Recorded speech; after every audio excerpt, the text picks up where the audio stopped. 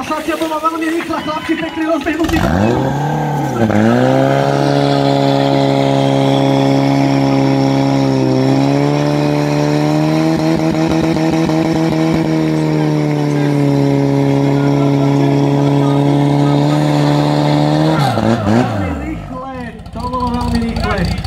A dokonca ešte sme tam zaznamenali aj prestreky na obidvoch prúdoch, ale aj tak ten 14-26 čas je, myslím veľmi slušný. 14-17 napravo, 14-26 na ľavej strane. Toľko Radimov muži, veľmi pekný požiarný útok.